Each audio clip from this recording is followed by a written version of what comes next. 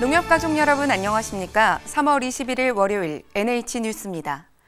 지난 15일 농협중앙회 본관에서 전 세계 농업협동조합을 대표하는 집행위원들이 화상회의를 개최하고 협동조합 간 협력과 연대 강화 추진을 결의했습니다. 이성희 농협중앙회장을 비롯해 8인의 집행위원들이 참석한 가운데 농업 분야 국제기구와의 개발 협력 사업 추진과 대륙별 특성화 사업 성과를 점검했습니다.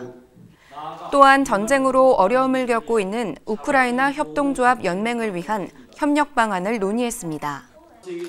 한편 이성희 회장은 김치가 코로나19 증상 완화에 효과적이라는 연구 결과를 소개하며 4월 출범 예정인 한국 농협김치가 세계인들이 애호하는 건강식품으로 자리 잡을 수 있도록 집행위원들에게 지지와 성원을 당부했습니다.